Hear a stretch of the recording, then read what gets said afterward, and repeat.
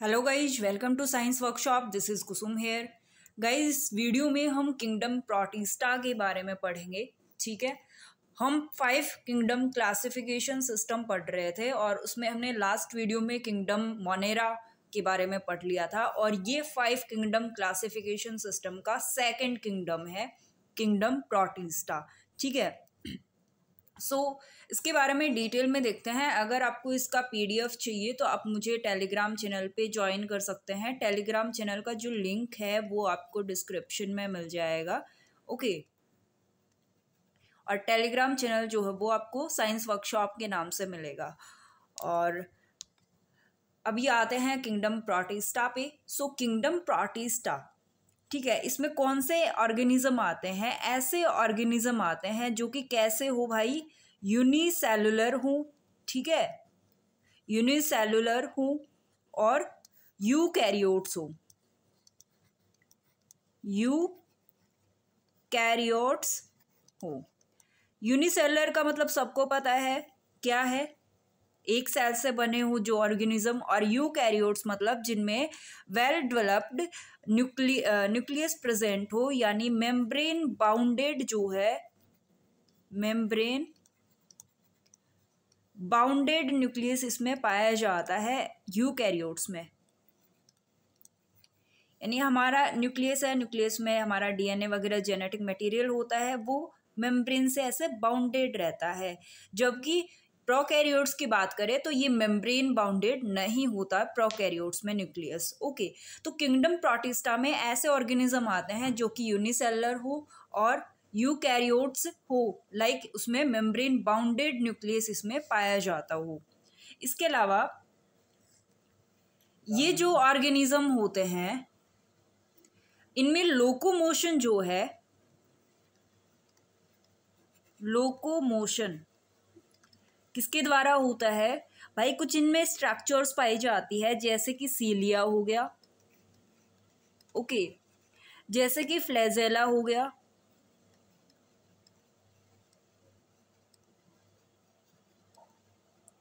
Okay और इसके अलावा सीलिया की अगर बात करें तो ये किसमें पाया जाएगा? सीलिया पैरामीशियम में प्रेजेंट होता है। और फ्लैजेला जो है वो युगलिना में होता है और इसके अलावा कुछ ऑर्गेनिज्म जैसे कि अमीबा हो गया, उसमें लोकोमोशन के लिए क्या होता है? स्यूडोपोडिया नाम की स्ट्रक्चर पाई जाती है। ओके ये किसमें होती है? अमीबा में होती है।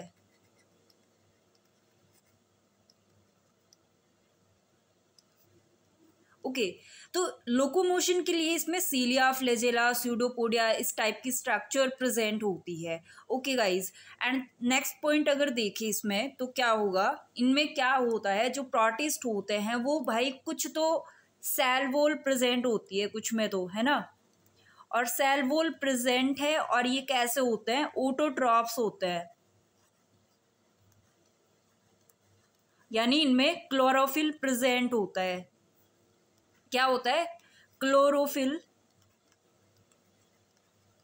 प्रेजेंट होता है। अगर क्लोरोफिल प्रेजेंट है तो क्या है कि वो अपना फ़ूड खुद से सिंथेसाइज कर सकते हैं, इसलिए हम उसको ओटोट्रॉफ बोल देते हैं।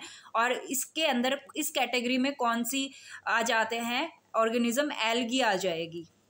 तो एल्गी को हमने किसमें रखा है? किंगडम प्रोटिस्टा में रखा है।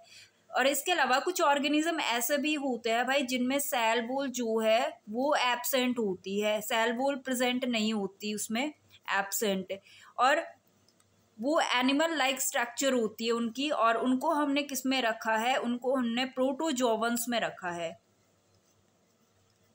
प्रोटोजोवंस में रखा है। ओके तो इस तरह से कुछ एनिमल इस किंगडम के जिसमें सेलवोल प्रेजेंट होती है और वो ओटोड्रॉप्स होते हैं जिनमें क्लोरोफिल पाया जाता है और ऐसे कैटेगरी में एल्गी को रख दिया। सेलवोल एबसेंट है और जो कि हमने प्रोटोजोवंस में रख दिया। और ये लोग कैसे होते हैं? हिट्रोट्रॉप्स होते हैं, यानी अपना फ़ूड खुद से सिंथेसाइज नहीं करते और अपने फ़ूड के लिए किसी और ऑर्गेनिज्म पे डिपेंड रहते हैं। ठीक है? एग्ज़ाम्पल की अगर बात करें किंगडम प्रोटिस्टा में कौन कौन से ऑर्गेनिजम्स आ जाते हैं? जैसे कि पैरामीशियम हो गया। ठीक है? युगलीना हो गया।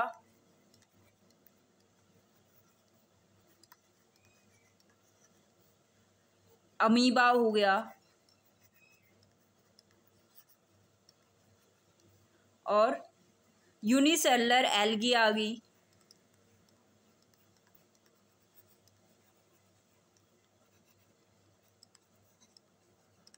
ठीक है ये कुछ मैन मैन एग्ज़ाम्पल हमने देख लिए किंगडम प्रोटिस्टा में कौन कौन से ऑर्गेनिज्म आते हैं। सो so, आप यहाँ देख सकते हैं कि प्रोटिस्ट में प्रोटिस्टा का मतलब ही क्या है? First are simple unicellular eukaryotic organism यानी ये यूनिसेलर और यू कैरियोटिक ऑर्गेनिज्म जो है, इस किंगडम के अंदर किंगडम प्रोटिस्टा के अंदर आते हैं।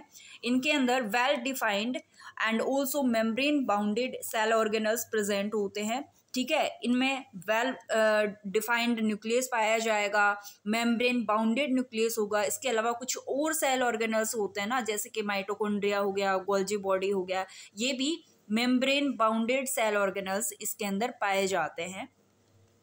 लोकोमोशन जो है occurs with the help of hair like structure जिसको हम सीलिया बोलते हैं, और सीलिया के द्वारा लोकोमोशन किसमें होता है? पैरामीशियम में होता है। इसके अलावा वीप लाइप्स के स्ट्रक्चर होती है, जिसको हम फ्लैजेला बोलते हैं, और फ्लैजेला के द्वारा लोकोमोशन युगलिना में होता है। इसके अलावा सूडोपोडिया नाम की स्ट्रक्चर पाई जाती है इनमें। जिसमें अमीबा में ये सूडोपोडिया नाम की स्ट्रक्चर के द्वारा लोकोमोशन होता है। कुछ प्रोटेस्ट ऐसे होते हैं जिनकी सेल वॉल जो है वो सेलुलोसिक होती है और जिनमें क्लोरोप्लास्ट प्रेजेंट होता है और उसको हम क्या बोलते हैं? एल्गी बोलते हैं। और एल्गी क्या है? भाई क्लोरोप्लास्ट प्रेजेंट है तो वो अपना फ़ूड खुद से सिंथेसाइज कर सकते हैं सनलाइट की हेल्प से। और इस वजह से हम इसको क्या बोलते हैं? ओटोट्रॉफ्स बोलते हैं। और इनके अंदर जो है वो कॉन्ट्रैक्टाइल वैक्यूल्स प्रेजेंट होती है गाइज़ एल्गी के अंदर। ठीक है? इसके अलावा कुछ जो प्रोटिस्ट है वो एनिमल लाइक सेल्स भी रखते हैं यानी कि इनमें सेल वोल एबसेंट होती है और क्लोरो क्लोरोप्लास्ट भी इसमें नहीं पाया जाता ठीक है? तो इसको हमने किसमें रखा? प्रोटोजोवंस में रख दिया। ओके okay, जो कि क्या है? हिट्रोट्रॉप्स है या होलोजोइक है। हिट्रोट्रॉप्स मतलब ये अपना फ़ूड खुद से सिंथेसाइज नहीं करेंगे फ़ूड के लिए किसी और ऑर्गेनिज्म पे डिपेंड रहेंगे। एग्ज़ाम्पल की बात करें तो इसमें डायटम्स आ गए यूनिसेलर एल्गी आ गई। यूनिसेलर एल्गी का एग्ज़ाम्पल ले तो वो है क्लेमाइडोमोनास इसके अलावा dinoflagellates Noctiluca Gonyaulax Gonyaulax and paramecium amoeba euglena ये सारे के सारे एग्ज़ाम्पल आ गए। किंगडम प्रोटिस्टा की ये सारे ऑर्गेनिज्म हैं, ठीक है? अगर स्ट्रक्चर देखें युगलिना की, क्योंकि युगलिना क्या है? किंगडम मोनेरा का एक ऑर्गेनिज्म है। युगलिना जो है, वो कैसा है? यूनिसेलर है और यू यू कैरियोट है, ठीक है? तो इसमें प्लाज्मा मेम्ब्रेन आप यहाँ देख सकते हैं, ये प्लाज्मा मेम्ब्रेन है। इसमें साइटोप्लाज्म प्रेजेंट है क्लोरोप्लास्ट भी युगलिना में प्रेजेंट है।